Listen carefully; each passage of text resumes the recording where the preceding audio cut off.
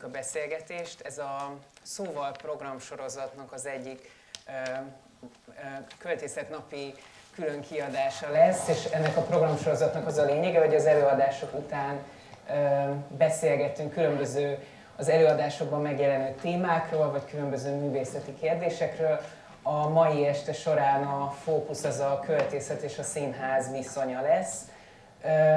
És akkor bemutatnám a, a résztvevőket. Bálint András.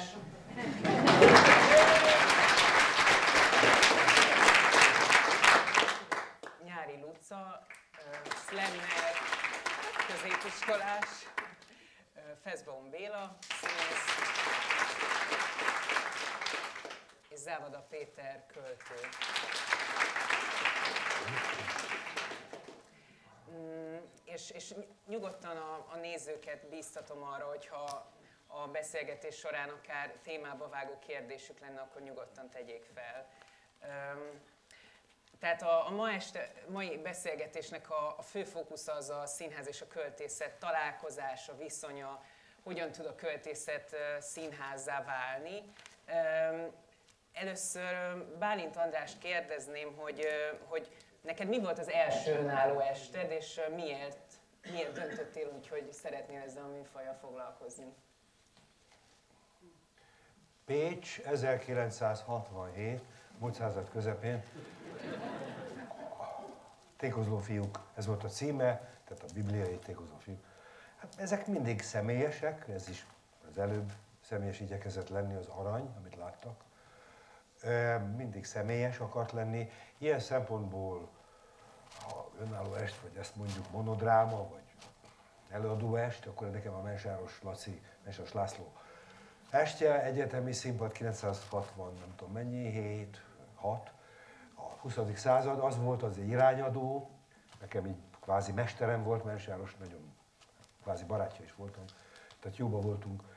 Ő, tehát a Laci estje volt nagyon fontos, mert ő nagyon egyes szem első személybe beszélt. Addig számos ilyen előadó estet láttunk ott az egyetemi színpadon, Aser Oszkártól Major Tamásig és Jancsó Adrientől Szent Pál Mónikáig, de a Mensáros estje volt az első, ami azt mondta, hogy én magam ezt is ezt gondolom a 20. századról, én pedig ezt gondolom Arany Jánosról, amit az előbb láttak abban a 70 percben, nyilván magamat belekevertem ebbe a dologba.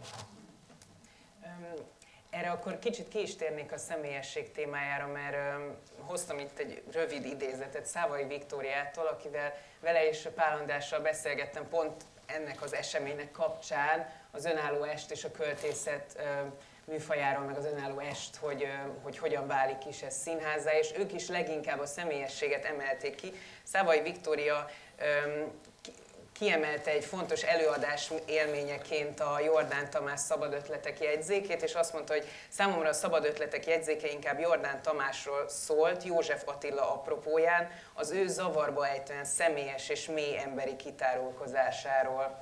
Mm, ennek kapcsán kérdeznélek így bújtatva, hogy, hogy miért érezted most fontosnak, hogy, hogy elővedd újra az arany, aranyestedet? Ó, hát több, több magyar költő, ez volt szerencsém.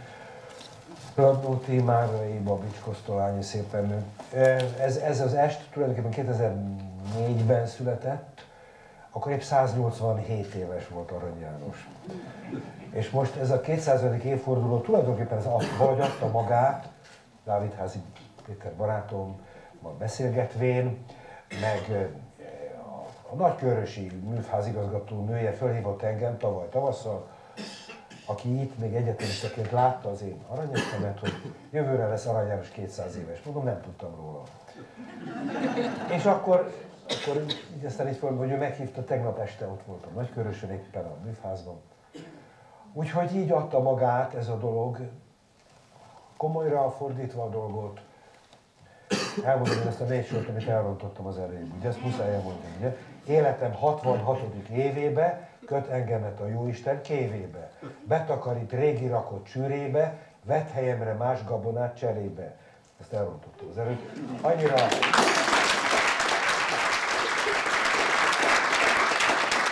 Annyira megkönnyebbültem, hogy végig tudtam mondani 69 percet, hogy a 70. percben tévesztettem. Szóval Nyilvánvaló a kor, az a 66 év, itt hallom néhány barátomtól, akik így 66 évesek mostanában. Az a 66 nem a, nem az a 66. Hát azt gondolom, akkor a 66 az nagyon sok lehetett. Én ugye nem titok, 74 vagyok, tehát ez a dolog, úgy, úgy, most úgy, úgy, úgy gondolom, hogy hozzáértem a szerephez. Ez a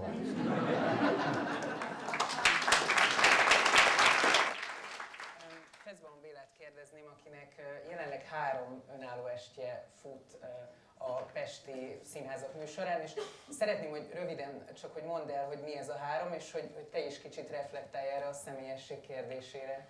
Ö, igen, az első az 2008-ban született, és ö, Kosztolányi Dezső anyagaival foglalkozik, és azokkal játszik. A Léggömb elrepül ez a címe, és a Dixie házi színpadán játszom azóta is. Most április 24-én lesz belőle a 80. előadás, ami szerintem egy szép szám, ugye?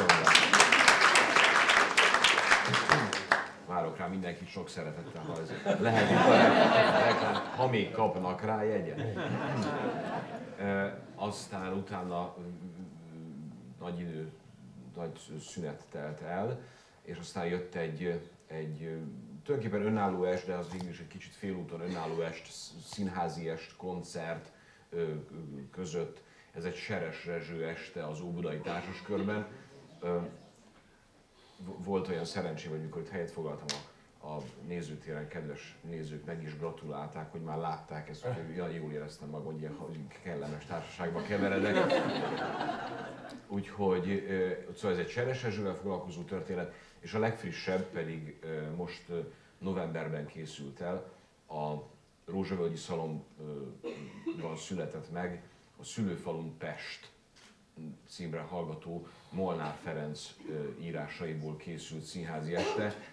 Színházi este, mondom én is most már, már több egyére, tehát valóban, valóban nem egy én sem úgy képzelem el, mint hogy az András sem úgy képzeli el, és az ő színpadra állításai sem úgy képzelik el ezeket az esteket, hogy egy fotel, állólámpa, egy könyv, és akkor valahogy átadjuk a, az anyagot, hanem valamilyen úton módon mégiscsak színházat próbálunk köré keríteni, vagy színházat próbálunk ő, ő, köré álmodni ezek közé, vagy ezek köré a szerkesztett estek közé. Ugye ebből a háromból, hál' Istennek tényleg mindegyik megy, és mindegyiket szeretettel fogadja a, a közönség. Ugye tulajdonképpen az első, a kosztolányi az, ami kifejezetten a költészet, tehát a kifejezetten a költői anyagból táplálkozik. Költészetből, illetve a kosztolányi féle újságírásból ö, áll össze a, a kosztolányi estemnek az anyaga. A Seresben ö, váratlan módon seres dalokat énekelek, és elmesélem a Seres életrajzát, kitalált és valós életrajzát, míg a Molnárban egyébként ö, egy olyan arcát mutatom meg a, a, a Molnár Ferencnek, amit nagyon kevéssé, vagy talán egyáltalán nem ismer a pesti közönség. Ugye ismerjük a vígjátékait, ismerjük a nagy regényeit, de nem tudjuk, hogy ő is egy virtuóz újságíró volt, és a, a, a nagy pesti polgárokat szórakoztató nagy vígjátékai mögött egy nagyon éles szemű és társadalmi érzékenységű, szenvedélyes és ugyanolyan szellemes ö, újságíró ö, alak húzódik meg és ezekből a szövegekből állítottam össze. Pesten születtem címmel egy színházi estet a, a Rózsavölgyi Szalomban. És mindkettőtöket kérdeznek, hogy hogyan történik a verseknek mondjuk a szenírozása, tehát hogyan, hogyan lesz ebből színház? Ez, hogy, hogy éltétek meg azt mondjuk alkotóként, hogy egyszer hogy éreztétek, hogy ez most több, mint hogy, hogy elszavaltok egymás után verseket? Hát mindig kell egy színpadkép, rendező, egy, egy valamilyen vízió, hogy ez hol hangzik el. Hát néhol, néhol az ember, ugye én elmondtam, ugye négy balladát, egy órája, ezeknek mindig megpróbáltam egy kicsit helyet találni, de tulajdonképpen ez négy ballada, tehát a Szondi, a Velszi Bándok, a Tetember és a Tengeri Hántán. Itt ezt találtuk ki. Annak idején azt a 2004-es előadást Forgács Péter segített benne, tehát tulajdonképpen ez a színpadkép egy kicsit együtt választottuk ezt az íróasztalat, de közben nagyon megváltozott a dolog, mert akkor egész másként voltam öltözve, nem volt ez a zene. Szóval 13 év óta kicsit megváltoztam én is, de mindenképpen színházban gondolkodok, én láttam a Béla estét, a Kosztolányit csak. Ugye elművölve néztem őt, mert hát, mert, mert színház, önvallomás, monológ, monodráma, nem tudom, hogy nevezzük. Ha csak valaki úgy kiáll, azt hiszem, hogy manapság az már, az már talán kevés, arra már nem, nem kíváncsiak a nézők. Tehát a Jordán Tamás estje, hogy amit idéztél, hogy ezt már én hoztam ide Tamás estjét, jó régen, és ott is volt egy találmány, a Tamás azt találta ki, hogy hogy főbe súgja, tehát mindenki, minden néző kapott egy fejhallgatót, és ezeket a, az amúgy akkor, az 87, ha jól emlékszem, akkor ez még nem volt kiadva, a, a József Attila pszichoanalitikus naplója, tehát ott is volt egy, egy színházi kép, egy, egy vala, valamilyen koncepció, és ahhoz illeszkedtek a szövegek. Elnézést, hogy vízet iszom és cukrot szopogatok, de egy borzasztó megfázásnak a végén vagyok, és nem akarom. De már a végén. Végén, már, igen, igen. Köhögésben. Nyugodjon, ne, ne, ne, nem feltűnt. Szóval, hogy azt muszáj elmondanom itt ezen a, ezen a színpadon ülve, és jó érzés, hogy ezt elmondhatom, hogy tulajdonképpen az, hogy én önálló színházi esteket kezdtem el készíteni, és azzal foglalkozom. Abban nekem volt egy, egy, egy példaképem, egy mintám, és ott úgy hívják, hogy Bálint András. Én főiskolásként az ő osztályába jártam, pontosabban egy olyan osztályba jártam, ahol tőle tanultam a beszédet, a színpadi beszédet, és, és nagyon sokszor jártam át a, a főiskoláról ide esténként hallgatni az Andrást a, a Márai estjén. Ugye Márai naplói címmel futott az előadás. Nagyon sokszor láttam, jöttem, jöttem, jöttem mindig a Márai naplóira, még akkor is, amikor a Pesti műsor egyszer félre nyomtatva Mária naplóira írta az estet. Kíváncsi is volt, hogy mit talált ki aznap estére a tanár úr, hogy most Mária naplóit adja elő, Márai naplói helyet. És borzasztóan inspirált az, hogy természetesen a személyesség, természetesen a, az egyszerűség, a közvetlenség, a, a szenvedélyes, okos megszólalás. Inspirált az, hogy valaki csak ül egy székben, és az, az, az érdekes. Érdekes azt nézni, hogy valaki gondolkodik, és valaki párbeszédet folytat saját magával, és a korával, amiben éppen ül, és itt térek rá egy picit a, a színházi kérdésedre újra, hiszen ezek színházak, attól is színházi estek, hogy a nézőtéren és a színpadon ugyanaz az idő van. Ezek a szövegek, amiket mi kiválasztunk és megszerkeztünk egy, egy, egy színházi esté, ezek azzal az ambícióval, vagy azzal a színházi álommal készülnek, azon túl, hogy személyesek, magunkról beszélünk, megmutatunk egy költőt, megmutatunk egy alakot, akiről adott esetben plusz információkat is kaphat majd a néző, hogy egyedül vagyunk ugyan, de mégis párbeszédbe keveredünk azzal a korral, amelyben éppen ezt előadjuk. Reménykedünk abban, hogy az a szöveg, amit választunk, azok a versek, újságcikkek, levelek, gyászrészletek, hogy is mondjam, csak töredékek, egyszer csak összeállnak valami, valami olyan párbeszéddé, amit, amit a, a színpadon álló alak, Bálint András, Feszdombéla, Béla, Kosztolányi Dezső, Márai Sándor a saját korával folytat. Tehát igenis színház. Igenis színház ez, hiszen még egyszer mondom, az az ambíció szülte őket, hogy, hogy hozzászóljanak ahhoz a korhoz, amihez, amiben, amiben megszülettek.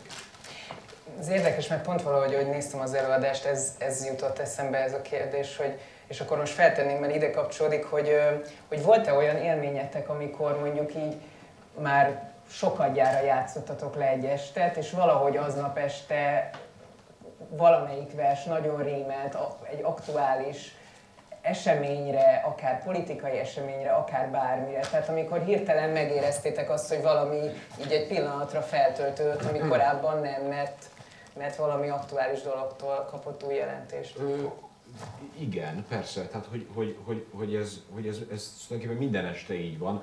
Ugye az ember, ezt Andrástól kölcsönzöm ezt a, for, ezt a form, formulát, ugye ír magának egy szerepet ezekkel az estekkel, nagy ambícióval megcsinálja, bemutatja 2008. április 23-án, mint én az és aztán rajta marad, azt játszani kell, azt minden este utána elő kell adni, és hát bizony, persze, hogy minden, minden este, vagy minden, minden, minden egyes alkalommal, miután magára marad a szöveggel, a, a, a közönséggel és ezzel a rettentő élménnyel, hogy valahogy ki kell tölteni ezt a 70, 80, 85, 90 percet, farkas szemet nézve a közönséggel, Hát persze, hogy egy kicsit mindegyik máshogy kezd el, tehát hogy időnként más fénytörés kap, az ember élete változik, máshogy beszél az ember a szerelemről, máshogy beszél a, a tanítvány-mester viszonyról, máshogy beszél az ember a hitről, és hát egyszer csak persze máshogy kezd el rezonálni.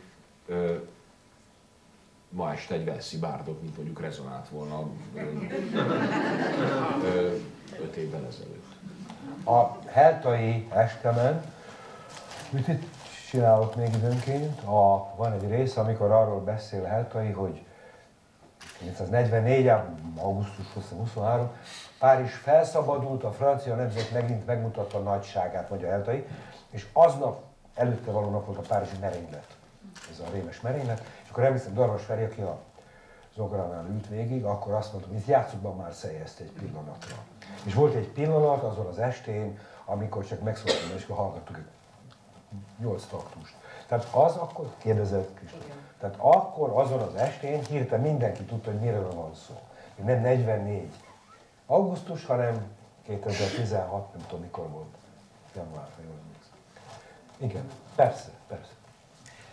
Závada Pétert kérdezném, hogy ugye itt elhangzott már pár önálló est, Jordán Tamás estje is, és hogy neked mennyire vannak ilyen előadás élményeit, tehát hogy önálló költői estek, mennyire láttál?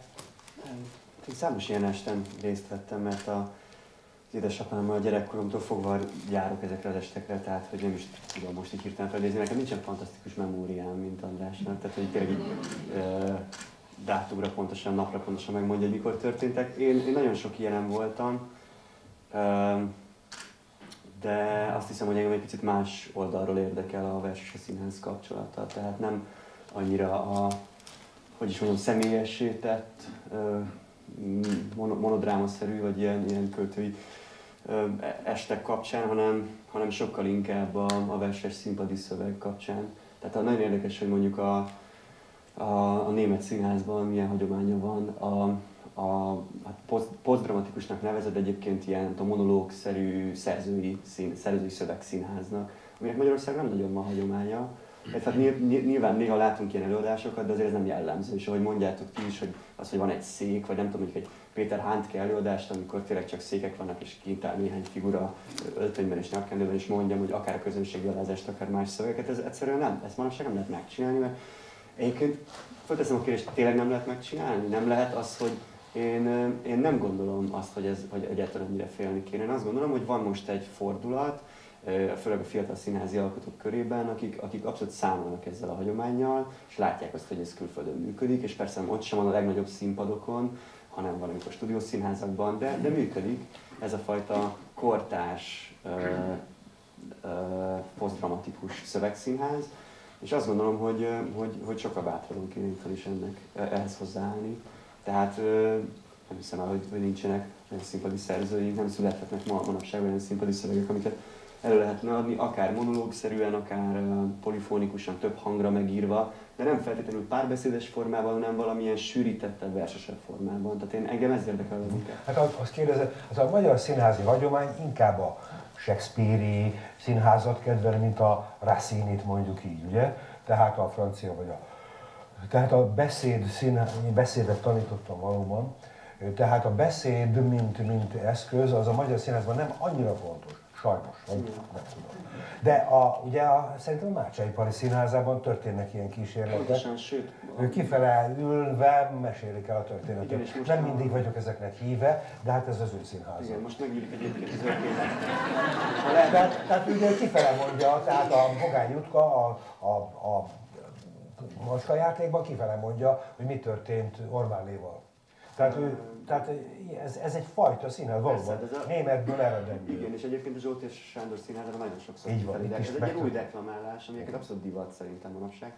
Nem kell ettől félni. Én picit pont azt, ha szabad ilyet unom jobban, amikor, amikor ez, a, ez, a, ez, a, ez a nagyon dramatikus, ez a nagyon párbeszédszerű, nagyon egymásnak. Hát e, e, e- ebben nőttem föl, tehát ezt a fajta inkább naturalista típusú színházat láttam én, és még akkor is, hogyha nyilván ennek voltak progresszívebb irányai, de hogy, de hogy engem nagyon érdekel az, hogy ez, ez hogy tud így működni. És persze az is nagyon érdekel, amikor egy színész, um, egy remek színész, egy kiváló színész magáévá tesz bizonyos szövegeket, vagy egy egész életművet, és akkor abból válogat és szerkeszt, és nem tudom. Um, igen, az is nagyon izgalmas természetesen. Mm, Akkor rátérnénk arra, hogy, hogy gondolkodtam arról, hogy, hogy a kortás előadó művészetben vagy szín, színjátszásban ö, hogyan él tovább, vagy hogyan élhet tovább például a, a költői est vagy önálló est műfaja. Úgy, úgy, úgy látom, hogy fi, a fiatalabb színész generációban kevesebb ilyen önálló est születik, mint mondjuk az egyel idősebb generáció számára egy, ennek volt egy nagyon nagy virágzása egy időben, tehát nagyon sok ilyen önálló est volt. És arra jutottam, hogy például ennek a, ennek a formának egyfajta továbbélése lehet a slam poetry, és akkor most Lucá, Lucának is adnám a szót, aki, aki elő fog adni nekünk egy, egy művet. Akkor megkérnélek, hogy, hogy add elő egy, szlemmelj nekünk egy kicsit. Igen, hát először is nem tudom, hogy való, akik itt vannak, mennyire ismerik ezt a művet.